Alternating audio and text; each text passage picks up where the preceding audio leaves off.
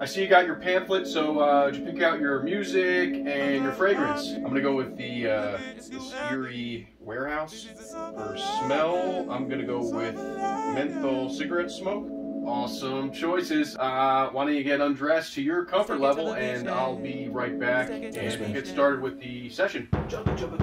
Hey, Mark. Hey. I like to keep it loose. That's why I do some of these goofy things. But Okay. uh, you know, all right. How's that feel, buddy? Good pressure. Not bad, not bad. All right.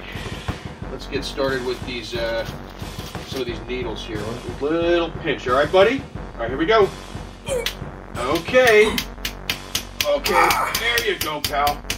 Nice job. Whoop. Fell out a little bit there, Mark. okay. How's that feel, buddy? All right, it's going down my leg. go. Okay, Marky boy. Ugh. My I got arm, one more uh, needle for you, okay, man? discomfort. Sir, hello. Oh man. Ah, okay. Come on, Mark. We're almost there, buddy. Okay. All right, pal. Whew, you know what? I feel pretty good.